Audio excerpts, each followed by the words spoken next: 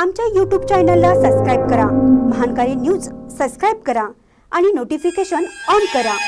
Notification on केल्यामुळे आमचे update आपल्यापर्यंत सतत पोहोचेल.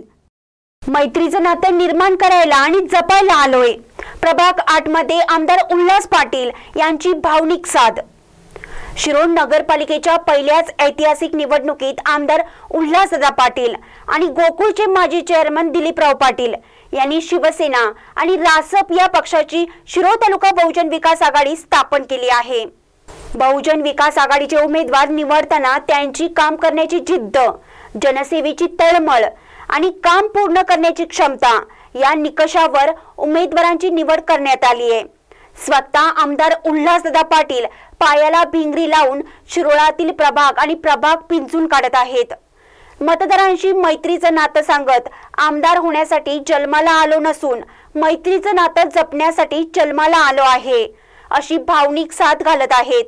दोन हजार चौदा मध्ये माझ्यासारख्या नवक्या उमेदवाराला साथ देऊन आमदार केलंय तशी साथ बहुजन विकास आघाडीच्या उमेदवारांना आता या निवडणुकीत देऊन त्यांना निवडून आणा असं आव्हान त्यांनी मतदारांना केलंय.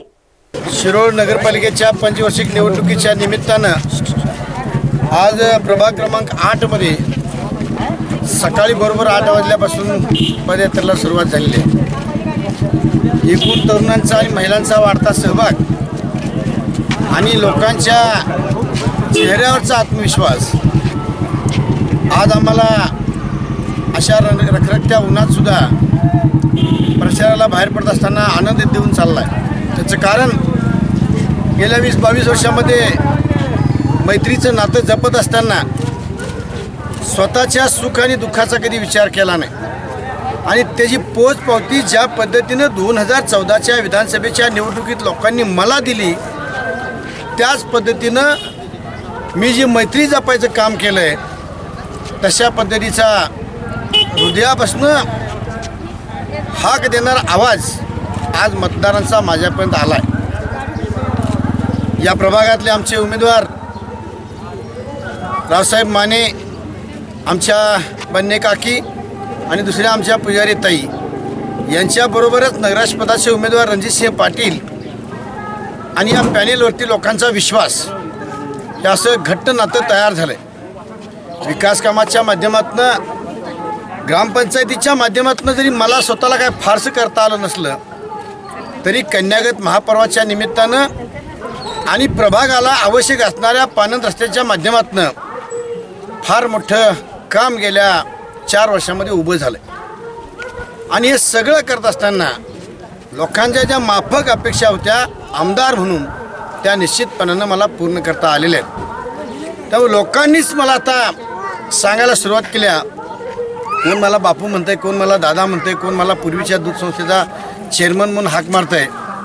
या सगळ्या नात्यांच्या माध्यमातून लोकांनी निश्चितपणानं ठरवलं आहे यावेळेला शिरोळ तालुका बहुजन विकास आघाडी शिवसेना आणि राष्ट्रीय समाज पक्षाचं हे पॅनेल निर्वाधपणाने विजयी करावं आणि आमदारांच्यावरचा जो विश्वास आहे. आमदार उल्हास पाटील या नावाला विशेष अर्थ असं मला वाटत नाही. कारण उल्हास पाटील जन्माला आला आहे तो मैत्री करण्यासाठी. आमदार होण्यासाठी निश्चितच मी जन्माला आलेलो नव्हतो. मात्र काळाची गरज म्हणून लोकांना काम करणारा एक सक्षम तरुण आमदार म्हणून पाहता तसाच पद्धतीने त्यांनी निवडला. आज या निवडणुकीच्या निमित्तानंसुद्धा तीच चालण तोच निकष तोच आदर्शवाद जातीच्या धर्माच्या पैशाच्या बंधनाच्या पलीकडे जाऊन निश्चितपणानं लोक जपतील असा मला विश्वास वाटतोय. एकूणच शिरो तालुका नगरपालिकेची निवडणूक जसजशी जवळ येत चालली आहे तस तसे प्रचाराची रणधुमाळी चांगलीच गाजत आहे. प्रचारात शिरो तालुका बहुजन विकास आघाडीनं सर्वच ठिकाणी मुसंडी मारली असल्याचं चित्र सर्वत्र दिसून येत आहे. शिरोळ नगरपालिकेच्या पहिल्याच ऐतिहासिक निवडणुकीत कोण सत्ता हस्तगत करणार? हे आता येत्या एकवीस तारखेला मतपेटीत बंद होईल.